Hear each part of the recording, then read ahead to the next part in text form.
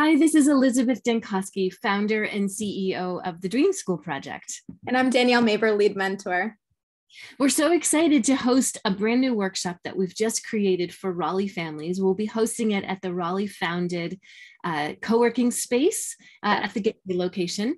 And we wanted to just jump in here and give you a little bit of insight into who we are and what we're doing um, for those of you who haven't heard of us. So the Dream School Project is an innovative mentoring program for high school students that's designed to help them figure out what lights them up, what kind of problems they want to solve, and how they can build a bridge between those two things so that they can truly distinguish themselves. And this is all under the umbrella of college admissions. So we've been working with high high school students who are applying to whatever their best school is for them, whether that's a top tier school or really just an amazing fit, maybe at a local school near you.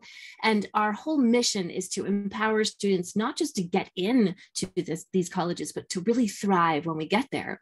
And so we're going to be doing two different workshops. I'm going to be running one for parents where we talk about college admissions and we talk about everything you need to know, what's changed during COVID.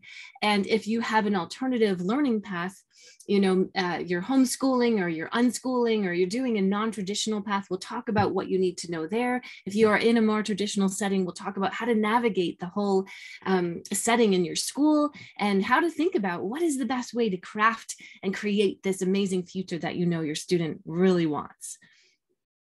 Yep. And then in the, the program with students, we would be talking about distinguishing factor. This is your unique set of gifts and strengths, and it's it's what makes you different. It's, it's what makes you unique. And typically we think of strengths in terms of school subjects in the high school setting, but there's so much more than that. So we'll be digging in with practical exercises and they'll be able to walk away with a deeper understanding of their distinguishing factor.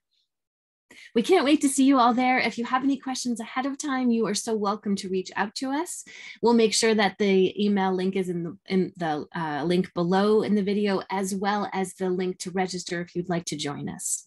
We will see you there.